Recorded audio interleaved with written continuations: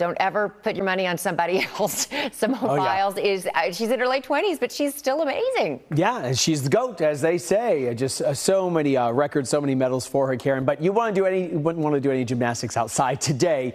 You might do that getting in your car because it's going to be so hot. Uh, I do want to let you know that we have issued an alert for uh, the dangerous heat that's on the way. Those feels like temperatures. So heat advisory and excessive heat warning in place today. Heat through July 4th remains in the forecast, but showers and storms on Friday and Saturday drop our temperatures into the 90s. But live look outside right now from our Fort Worth City Cam shows that blue sky, kind of hazy out there. Heat advisory in effect until 7 does include the Metroplex. You can see where we have this magenta color.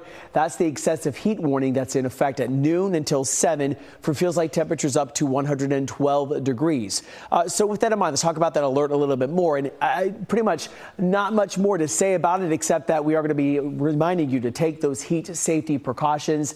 Uh, the advisory still sticking around through July 4th. Uh, limit your time outside. Make sure that you're drinking plenty of water. Wear that light colored and loose fitting clothing if you can. Uh, the first alert satellite radar shows not a whole lot happening. No clouds out there to keep uh, keep you shaded as you're running some errands or maybe working in the yard. Already it feels like 101 at DFW. Actual temperature just 93 with that south wind at 15.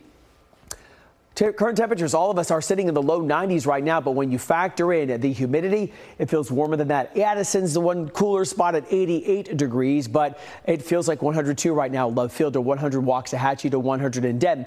You notice it feels like 103 in Tyler, but the west sides of North Texas, not much of a feels like temperature because the dew point is lower to the west. So what's ahead through the afternoon hours? We're up to 101 for the high temperature under sunny skies with that south wind at 10 to 15. So 101 today, tomorrow 100 in the forecast, feeling even hotter than that. So it's actually going to make it to 104 in Breckenridge.